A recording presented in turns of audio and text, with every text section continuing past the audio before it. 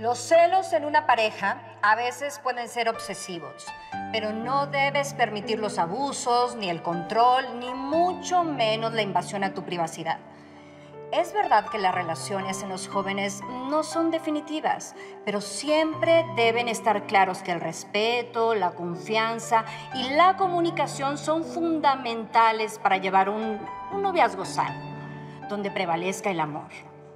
Si tu novio o novia te pide las contraseñas de tus redes sociales, te pide tu celular, controla tus amistades y controla tus actividades, ten cuidado porque eso eso no es una prueba de amor.